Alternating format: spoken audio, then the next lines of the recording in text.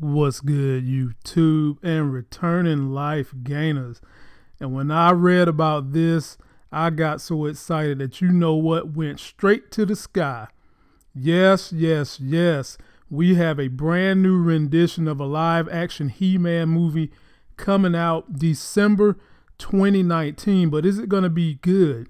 Is it going to be better than this disaster that we're seeing on the screen right now that hurt my feelings as a child? This was one of my most beloved cartoons. And we're going to determine whether we should stream it or beam it, but I can go ahead and tell you I'm going to catch the beam. If you enjoy the content on this channel, go ahead, subscribe, click that notification bell so that you can be down every time we drop a new video. Let's jump into this one to see what's going on with He-Man coming in 2019.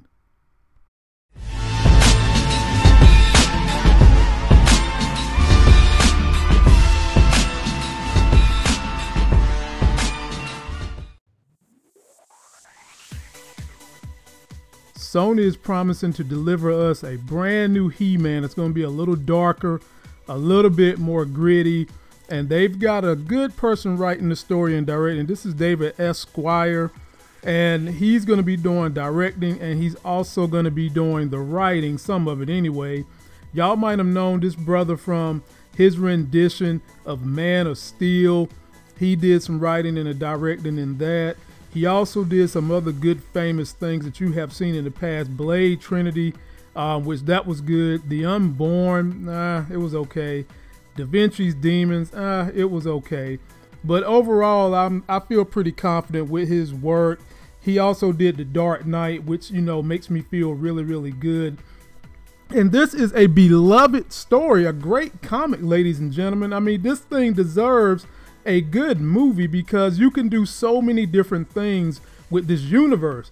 Keep in mind, you can also bring in She-Ra at some point in time, and you could possibly bring in Hordak, who's supposed to be more powerful than Skeletor. They're also bringing in this young lady, Lindsay Beer, and she's going to help with some of the screenwriting. Y'all might know her from Chaos Walking. She did Godzilla versus Kong. And they've got to get cracking on this one because they lose their contract to Mattel in 2020, which that kind of has me scared when they haven't even begun casting yet. Production is supposed to start this spring, but they haven't really done casting. They have said some people that they would like to cast, and I'll show you some people that might line up with who they want to play certain characters in a second. But if they could do a He-Man story arc properly, this would probably, I feel, give Marvel Cinematic Universe a run for its money because this this story is just rich. It's deep. It's got so many angles you can take, and there's so many moving parts. Like I said, you could bring in She-Ra and other people. So here you got them potentially thinking about bringing in The Rock to play my man Stratos. Um, I'm okay with that. I think that could work, but is The Rock going to really do it when he's got so many other things going on? Um, you can bring in my homegirl here to play Evil-Lyn, and I would love to see her play Evil-Lyn because you want someone that's going to be menacing to play Evil-Lyn. Now check out the cat we about to see for He-Man. Hell to the no. Nope, nope, nope, nope. This time around, we want a real deal big body He-Man. I don't know who you go get for that role. You know, I complained about Chris Hemsworth being Thor, but he worked it out. So maybe I should give this guy a chance too. But at my first glance, I'm just like, nope. He looks like a big doofus that's going to try to play one of the best cartoon characters ever. I can see Miss Bill playing Teela. Yep, I'm down for that team. Go ahead and give that a whirly derb so we can see that. And another option that they got for Teela is this lady, and I have no idea who she is. But um, I think one of those two is probably going to pull up this role, if I'm not mistaken.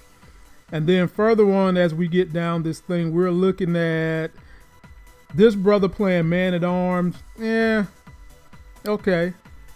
Uh, Okay, eh, possibly.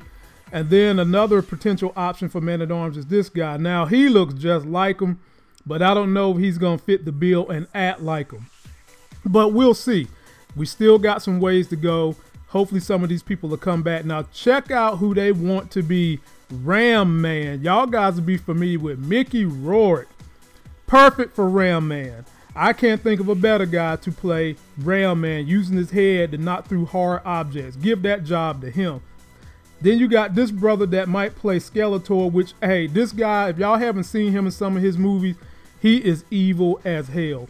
Perfect for Skeletor. Let's hope that he decides he want to take the job. And of course, they're going to give a nod to the old He-Man. They're going to bring my man Ludwig back in. I don't know what he's going to do, but they're possibly going to bring him back in. So let's just see what they do um, and make this thing happen and make it to be a good movie. Next, running down the list, he is perfect for Beastman. I can't think of nobody better to play Beastman than him. Look at him and look at the comparison. He could summon some damn animals. Moving right along, last but not least, you got my girl Charlize Theron, who could probably channel the sorceress like nobody else could. You got to have that. And the last thing that they forgot in the first one, how you gonna have this movie without Orko? the court jester and wizard to the stars. You better put his ass in here or else it's probably to be another disaster. Well, that's going to do it for this video, ladies and gentlemen. Don't forget to like my video, comment, and subscribe. Let me know if you're going to go and catch the theater beam for He-Man. I can go ahead and tell you right now. I don't care how sucky it looks, I'm going to see it because I got to review it. This was my childhood hero, and I'm going to see it. And until the next Sex as Hell video, I'll see y'all